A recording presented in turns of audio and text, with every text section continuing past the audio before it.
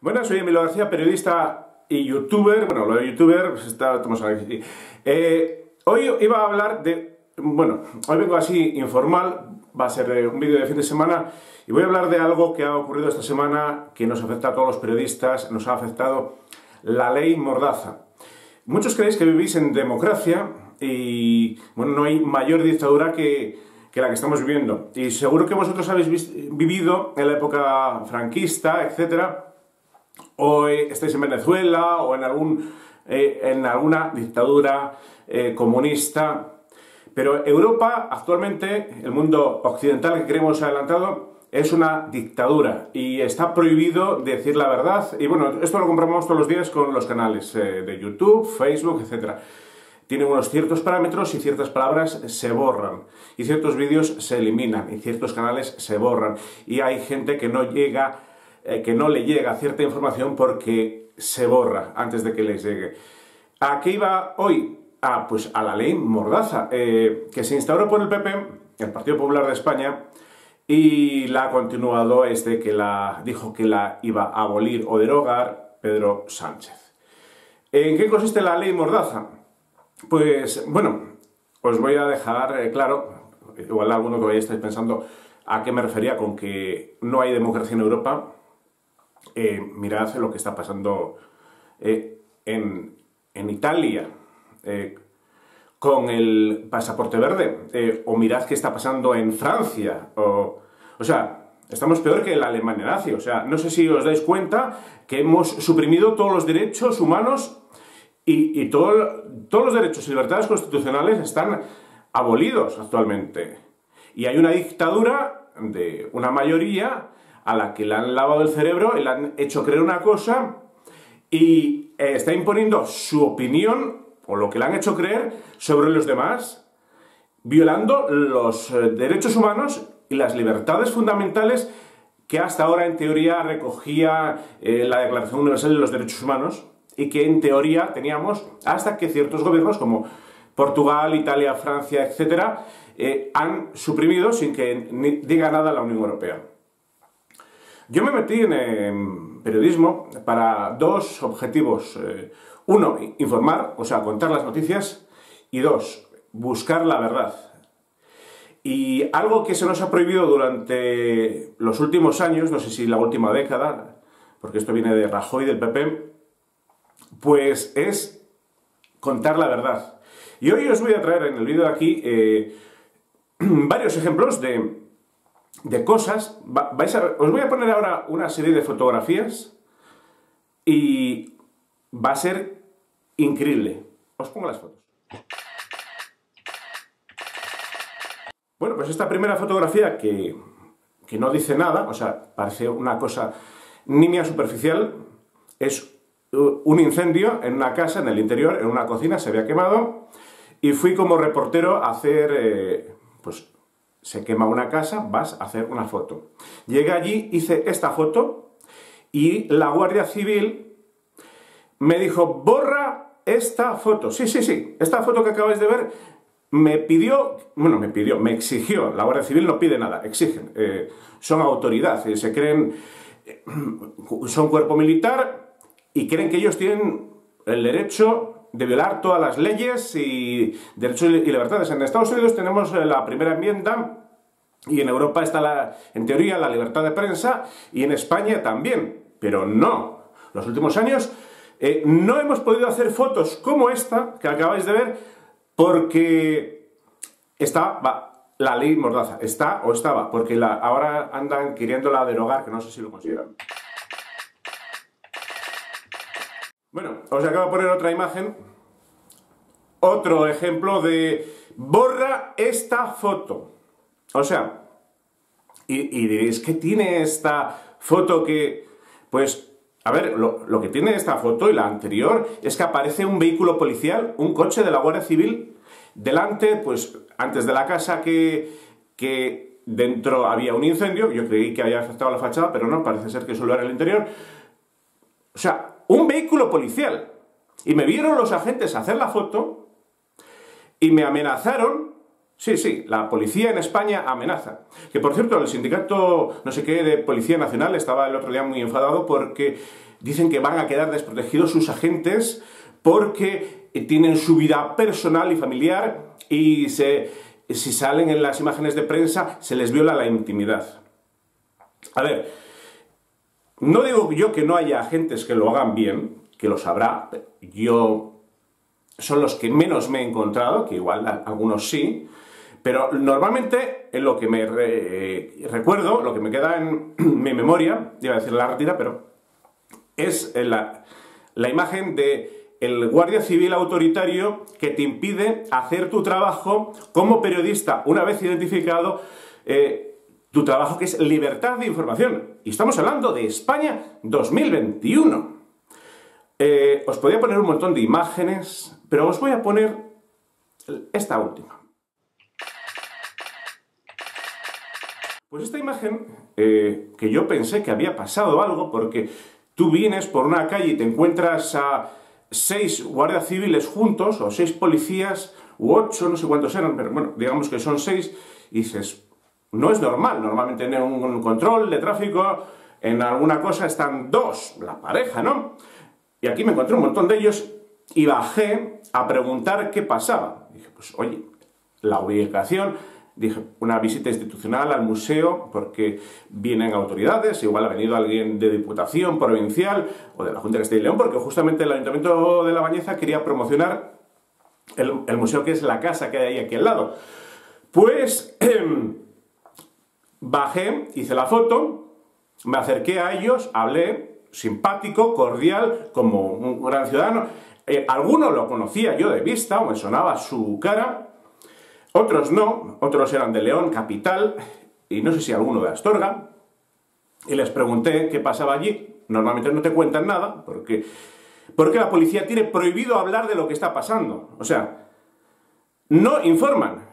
La primera, eh, sí, aunque parezca paradójico, estamos en democracia, pero no se informa de. Yo he visto operaciones policiales entrar a un piso, a un narcopiso, presunto narcopiso, a buscar cocaína, y ves el despliegue de perros, furgonetas y... Y luego no pillan nada y te dicen que eran unos ensayos, un entrenamiento, o te niegan la mayor, o te mienten. ¿Te miente quién? Su delegación de gobierno. A mí me han mentido. A la cara, que yo pensaba y dices, bueno, yo pensaba, yo como soy autista y, piensas que todo el mundo es buena persona, yo creía en la bondad de la gente y en la honestidad y sobre todo en la Guardia Civil, todo por la patria. Dije, bueno, esta gente están aquí sacrificados y tanto también que te hablan, eh, sobre todo en Vox, mira que yo voto Vox. Ahora, pues dices, jo, esta gente juegan, se lo juegan todo por los ciudadanos. Y luego te encuentras, me he encontrado casos como el primero, el segundo, hay más, ¿eh?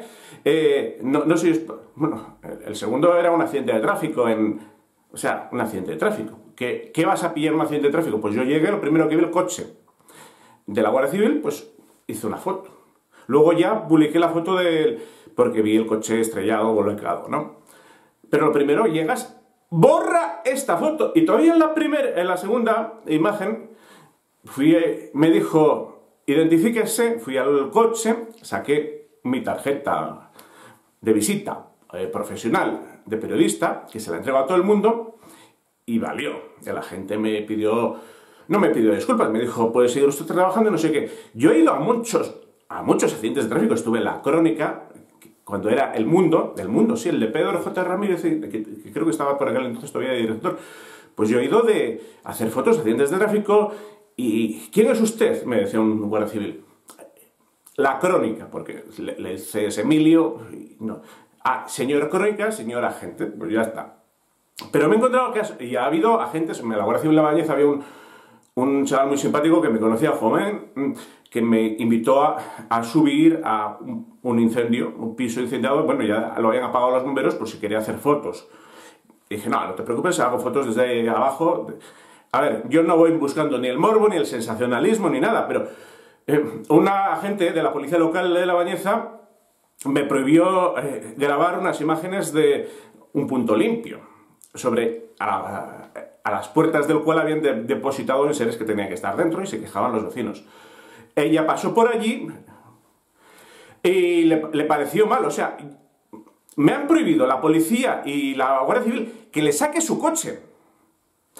Y ya la última foto que os he, puesto aquí era pandemia, llevaban todos mascarillas y no se les reconocía a nadie. O sea, antes todavía cuando hacías una foto, os habréis dado cuenta que a menores y a, y a guardias civiles o agentes de la policía nacional o autonómica, etcétera, se les difumina o distorsiona la cara para que no sean reconocibles. Pero bueno, con la mascarilla y desde lejos, o sea que no hacía falta. Pues la última fotografía, a los agentes me pidieron que me identificara.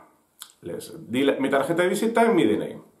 Y me dijo un agente, no sé si era de León, esto lo puedo hacer yo en cualquier imprenta. Le dije, pero aquí su delegación de gobierno no me ha facilitado ningún carnet de prensa que lo podía hacer él en cualquier imprenta. Y yo le tenía que haber pedido entonces que se identificara, que me enseñara su tarjeta rosa y para presentar una denuncia y tenía que haber seguido grabando, haber grabado en vídeo todo, todo el trato vejatorio, intimidatorio y de abuso de autoridad que a continuación de hacer esa foto y negarme a borrarla, sucedió. Porque me registraron el coche, me abrieron el maletero, me registraron a mí de arriba abajo, me cachearon y me trataron como un vulgar delincuente en plena calle de La Bañeza. O sea, eh, esta es la policía que tenemos en España. Sí, dices, bueno, esto pasa en un régimen cubano, bolivariano, chavista, donde no hay democracia. Eh, en México incluso, donde la policía se puede sobornar. No, no, ocurre en España. En España la, droga entra a prisiones y los familiares eh, tienen que, o sea, y cualquier visita pasa unos controles. ¿Quién mete la droga a prisiones? Bueno, el otro día, ¿quién... Eh, policía y... No era la Policía Nacional y Guardia Civil, me parece que estaban los dos cuerpos mezclados en narcotráfico. O sea, en España, lo que pasa es que, claro, todo lo negativo se tapa. Y los que podemos informar eh, se nos calla. Con la ley Mordaza se nos ha callado, se nos ha censurado y, se nos ha amenazado. Bueno, yo he sufrido tratos vejatorios. O sea, si me hacen a mí lo que me hicieron a mí, eh, te va una mujer ahora de estas feministas de Podemos y denuncia eh, por violación o acoso sexual o cualquier cosa. Vamos. Eh, yo puse una queja, puse una queja oficial que creyendo además en la honestidad dije, honestidad de la Guardia Civil, digo, si hay alguna gente honesto, digo, puede salir un garbanzo negro. Digo, pues sale un garbanzo negro en todos los lados, pero yo creía la honestidad. Dije, pues alguno de los que lo vio me dará la razón. ¿Qué va? Se taparon todos a sí mismos y apoyaron a sus compañeros y negaron la mayor. O sea, un policía mintiendo. Pero bueno, para mí Asperger me parece eso increíble porque crees en la bondad de la policía.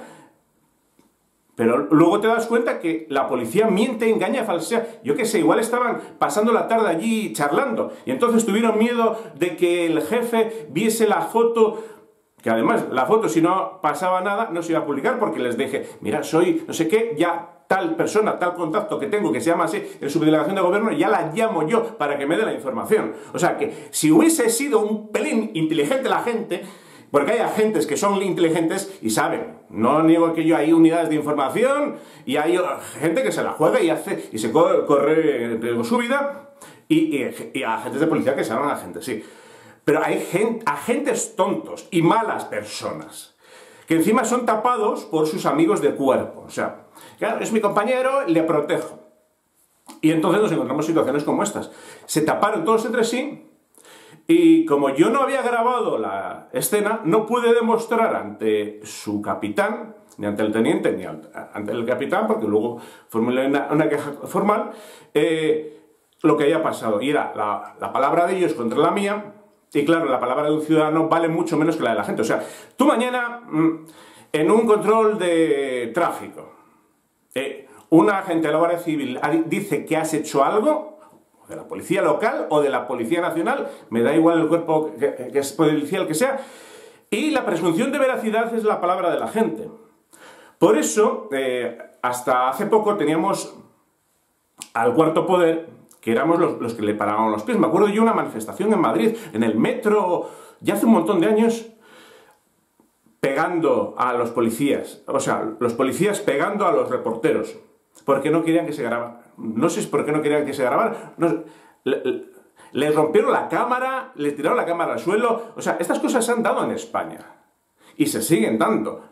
Y, ahora, y, durante todos estos años de la ley Mordaza con la impunidad, porque eh, normalmente un cámara, un reportero de callejeros, cuatro, no sé, bueno, estamos todos, bueno, no estamos todos, pero casi todo el mundo está comprado, ¿no? Por publicidad, por quedar bien, por no ponerte a mal, porque luego eh, si criticas a la policía, pues eh, si criticas al médico, luego igual no me atiende bien.